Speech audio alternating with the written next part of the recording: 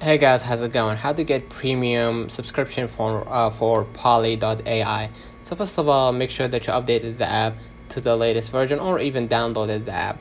So basically what you're gonna do, you're gonna see uh, the interface of the app and then what you're gonna do next, you're gonna just click on your profile at the bottom right and then you're gonna be able to see uh, a paid or pay a subscription for or pay a, a membership or Poly Premium and then basically you're gonna be able right here to see the monthly payment and the yearly uh, or annual uh, payment, right? And you can subscribe to um, you know whatever suits your uh, plan so you can get access to uh, unlimited voice listening, chat models, ad free, and all that, and then subscribe to the you know premium uh, you know premium subscription, and then you're gonna get the membership benefits. So let me know in the comments if this video helped you.